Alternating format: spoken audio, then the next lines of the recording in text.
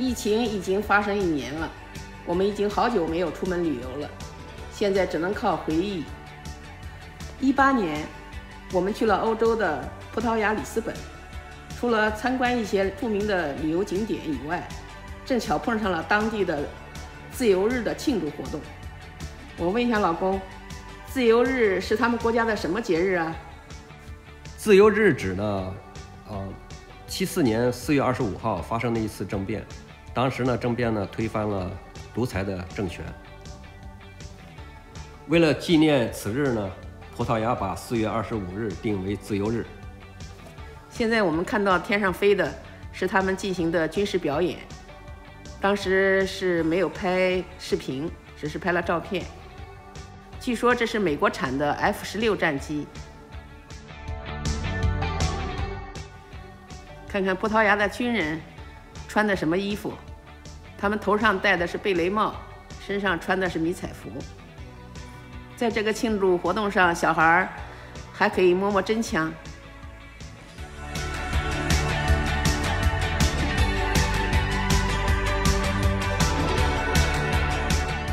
这是装甲车，游客不光是在旁边可以看，也可以爬上去拍照留念。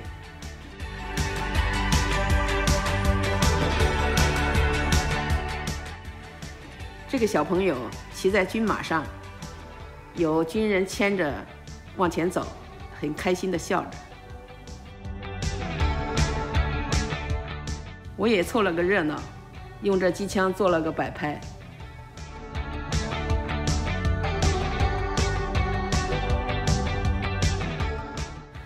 这张照片是老公拍的，我问问你为什么那么喜欢这张照片，还撒了一些玫瑰花在上面。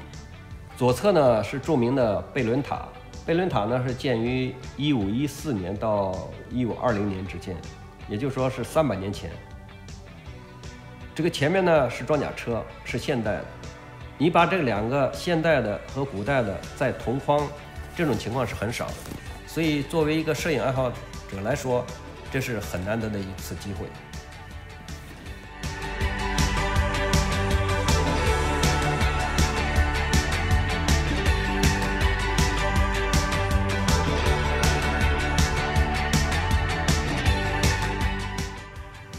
河里是炮艇，也是庆祝活动的一部分。前面有天上的、路上的，现在是河里的。这是放在贝伦塔中供大家参观的大炮，是古代的。这是从城堡往外看城市的一部分。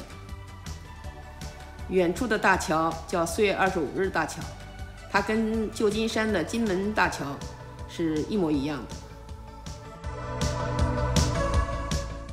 参加庆祝活动的有当地的游客，也有远道而来的我们。大家都很好奇地看着武器，也有问问这个军人一些问题。呃，用中国话说就是军民鱼水情。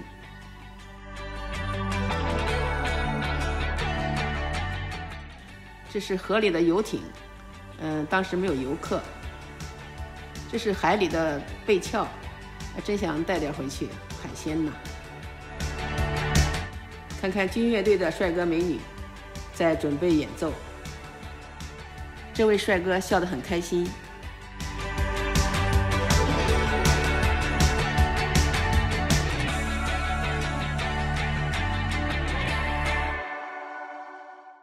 下面我们听他们演奏吧。当时正好录了一段视频。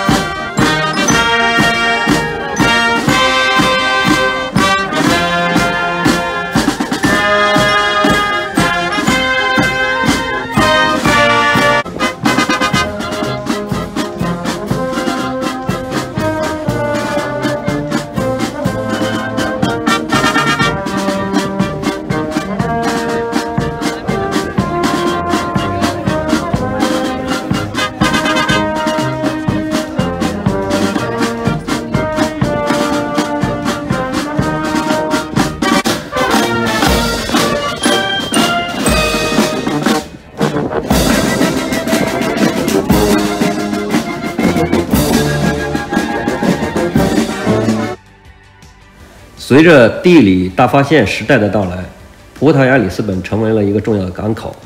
当时有必要建造一些防御工事来防御里斯本和它的港口。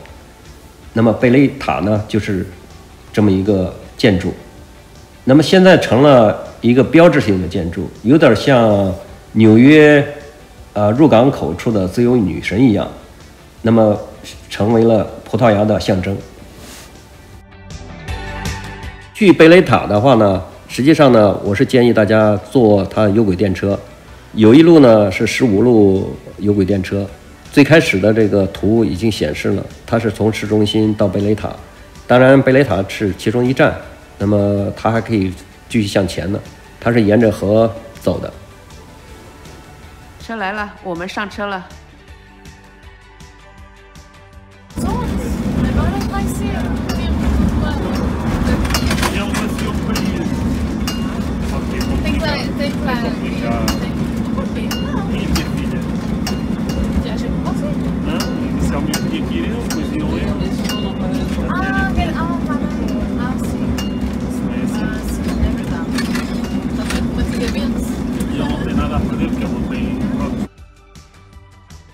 在回去的路上，我们沿途拍了一些呃居民生活的片段，呃，显示他们的幸福生活。